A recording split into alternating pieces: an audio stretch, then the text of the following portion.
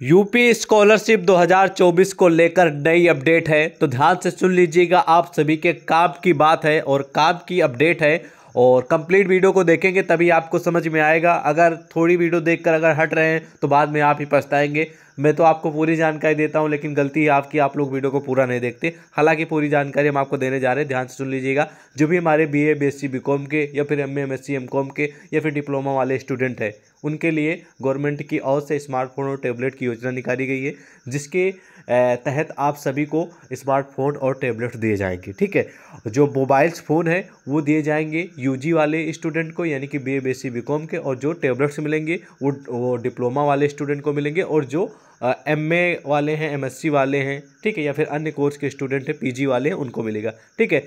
अभी तक बहुत सारे स्टूडेंट कन्फ्यूज़ है कि सर अभी हमको मिला ही नहीं है, ठीक है, और हमको मिलेगा तो कब मिलेगा, कहीं लास्ट डेट ख़त्म ना हो जाए, ठीक है, और हमारा नाम तो लिस्ट में है ही नहीं ऐसे बहुत सारे लोगों के प्रश्न हैं। तो आपकी जानकारी के लिए बता दें, ये इस योजना के तहत बहुत सारे स्टूडेंट को स्मार्टफ़ोन और टैबलेट मिल चुका है, और बहुत सारे स्टूडेंट को मिल भी रहा है, ठीक है। हो सकता है आपकी यूनिवर्सिटी या कॉलेज में अभी कोई अन्य कार्य चल रहा हो, इसलिए इस वजह से भी वितरण नहीं किया जा रहा है, ठीक है? लेकिन मैं आपकी जानकारी के लिए बता दूँ, ये योजना का जो लाभ है वो आपको 15 अप्रैल 2024 तक मिलने वाला, ध्यान सुन लीजिएगा। अभी तक जो जानकारी मुझे मिली है, उसके हिसाब से मैं आपको बता रहा हूँ ये इस योजना के तहत आप सभी को जो स्मार्टफ़ोन और टैबलेट्स वितरण किए जाएँगे, वो पंद्रह अप्रैल तक अभी किए जाएँगे, ठीक है?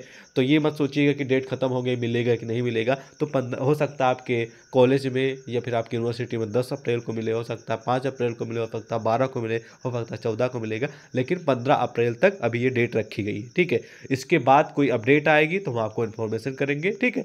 अभी तक तो पंद्रह ही है, ओके? और मैं आपकी जानकारी के लिए बता दूँ जिनको स्मार्टफ़ोन और टेबलेट हंड्रेड परसेंट मिलेगा मिलेगा, वो स्टूडेंट है, चाहे वो B A B S C B com के फाइनल ईयर यानी कि थर्ड ईयर वाले स्टूडेंट हो, यानी कि फिफ्थ सेमेस्टर वाले, ठीक है?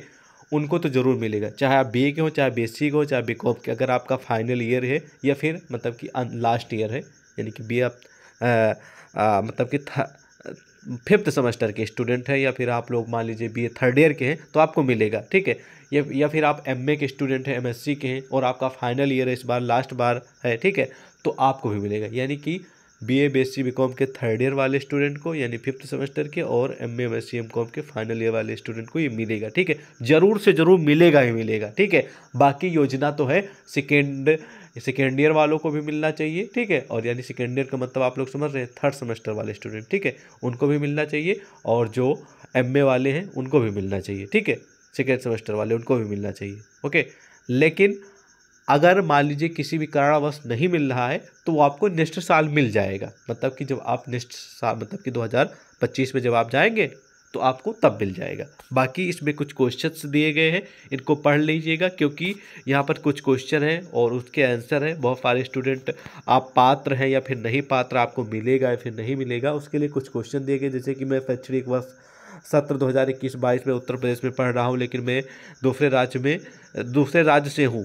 क्या मुझे इस योजना के लिए पात्र हूँ या फिर इस योजना का लाभ मिलेगा? मिलेगा कि नहीं मिलेगा पूरी जानकारी पढ़ लीजिएगा। इसी तरह बहुत सारे क्वेश्चन हैं और उसका उत्तर भी दिया गया है कि आपको मिलेगा या फिर नहीं मिलेगा, इसमें पढ़ लीजिएगा, ठीक है? ये आपको हम टेलीग्राम व्हाट्सअप पर शेयर कर देंगे। तो इसी वीडियो के डिस्क्रिप्शन में टेली व्हाट्सअप का भी लिंक मिल जाएगा। बाकी कोई अन्य क्वेश्चन है, कोई अन्य जानकारी चाहिए तो कमेंट करके ज़रूर पूछें फ़िलहाल कोई अन्य अपडेट आएगी तो उसकी भी जानकारी मिलेगी। आपका अपना ही चैनल सक्सेस हुई हुए तो अभी के सब्सक्राइब कर लीजिएगा। जय हिंद।